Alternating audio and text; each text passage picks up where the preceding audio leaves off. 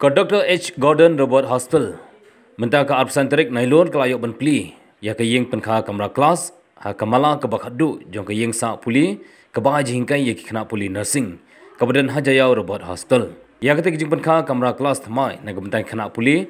Lakhap ribon na ke kong VA Soklet. Kemudian ke Anderson Structural Consultants.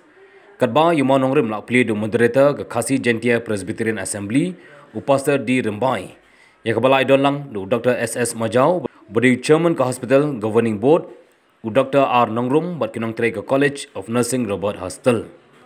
Hak te jing ke kamera kelas berthamai ke bakentup ke kamera kelas komputer ki kam a jingkai kumno ban semua di kinong pang.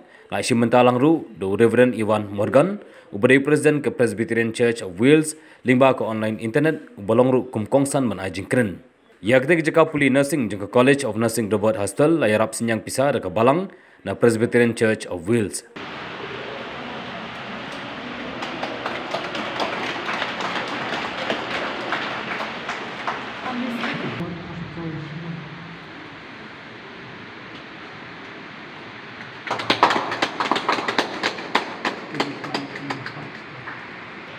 Vertical extension in terms of uh, like for example, the advanced nursing laboratory, the computer laboratory, the common room, four classrooms for 40 students, sitting capacity, the examination hall, washroom, and the playground, including the other recreational facilities.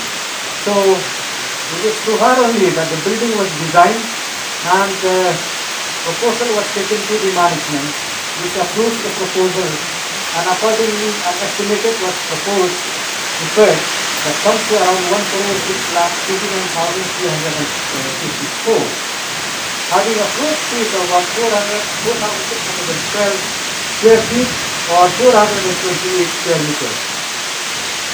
After completion of the tendering system of the work, the work order was issued to Mr. L. Kurva, the class 1 contractor, on the 19th September 2019 with one year time of completion. Now, getting a permission for the construction of the building, because according to the, uh, the Meghalaya Urban Development Authority bylaw 2011, there are certain criteria that are laid down that has to be met, especially when the state of ours falls under the seismic category 4, which is highly you know, prone to earthquakes.